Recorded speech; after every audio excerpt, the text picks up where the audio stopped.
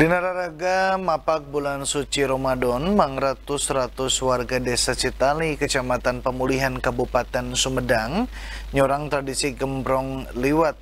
Eta tradisi mayang saban tahun nate lian tingasakan sangu liwat jeng bala kecerakan babarengan jeng sakumna warga oge minangka kegiatan silaturahim antar warga di eta lelewak.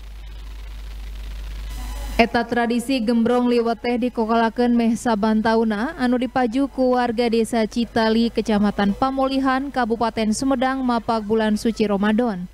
Dina eta tradisi gembrong liwat teh warga masak sangu liwat sapuratina Sunda ngagunakeun hau jeung suluh.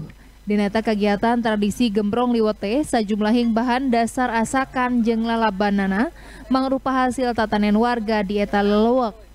Satu tas masak sangu liwat sapuratina Sunda sakumna warga balak kecerakan babarengan.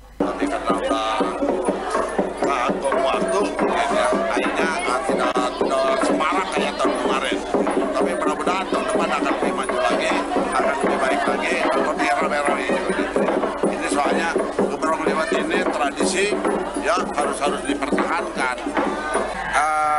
Tradisi gembrong liwat ini kan tradisi menanak nasi liwat secara massal satu kampung dulunya. Sekarang lebih luas lagi satu desa satu kecamatan bahkan satu kabupaten. Nah uh, selain itu kita mengikat silaturahmi sekalian kita menyambut datangnya bulan suci Ramadan. Mungkin ke depannya lah lebih baik, uh, warga kami lebih maju gitu dan uh, yang menyelenggarakan hal ini uh, Paku baik rekan semoga sehat walafiat. Lianti mapak bulan suci Ramadan, tradisi gembrong liwet ge dikokolakeun keur ngaraketkeun silaturahmi antar warga di eta lelewek. Diki Guntara, Bandung TV.